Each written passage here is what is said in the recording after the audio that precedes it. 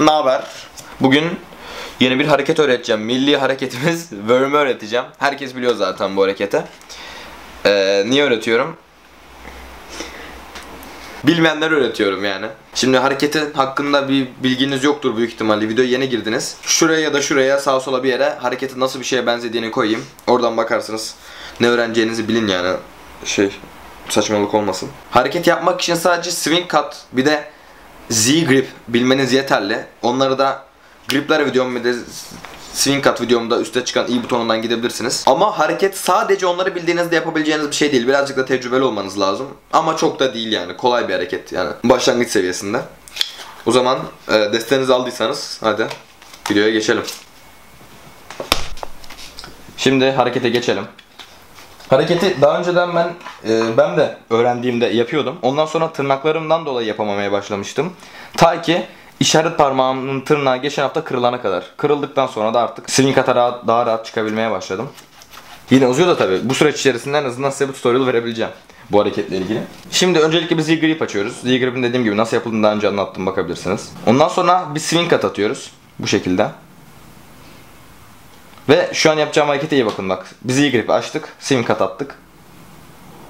Ondan sonra sağ elimize yani şu şekilde duruyorken Z grip olduğunu düşünün burada.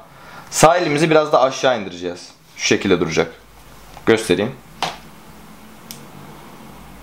Burada swing cut açık tabi. Bunun parmağımıza koyuyoruz. Bir daha göstereyim. Açtık. İndiriyoruz. Bu pozisyondayız. Bir swing cut atıyoruz. Swing cut'ı da parmağımıza yerleştiriyoruz. Burada şu hareket yapacağız. Bu e, bu harekete asıl mekanikliği veren parça bu parça. Worm'ü worm yapan kısım bu kısım yani onu demek istiyorum. Display değil. Bu arada bu hareket Dan and Dave'in hareketi. Dan and Dave'i biliyorsunuzdur. Şu ikizler var ya sihir mihir yapıyorlar.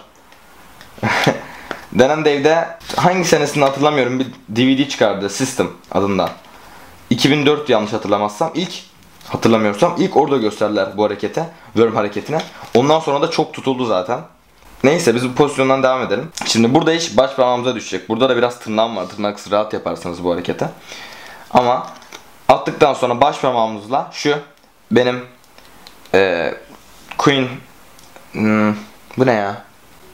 Kız. Burada da işte bak şu an e, kız yok. 10 sinek var.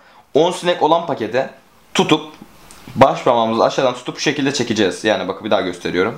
Paket burada. Tutuyorsun ve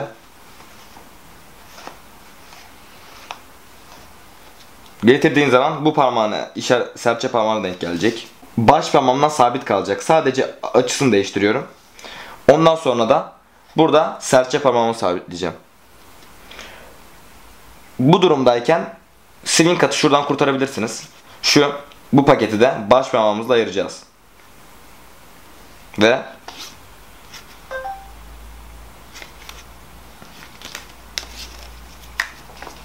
bir daha göstereyim.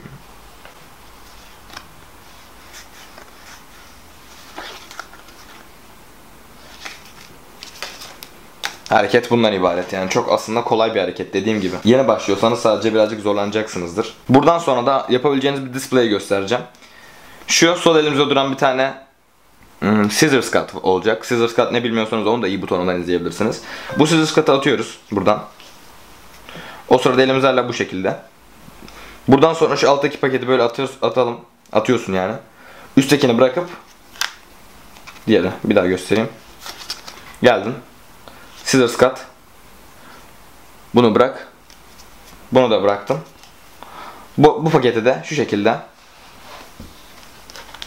Yani bu şekilde bırakmaya edebilirsin yani. Ben böyle bırakıyorum diye sadece. Mesela bunu da direkt koyabilirsiniz. Ama orijinali bu yani. Koyuyorsun, koyuyorsun. İstersen direkt böyle bırakabilirsin üstüne. Pek fark etmez. E işte video bu kadardı. Hareket dediğim gibi kolay.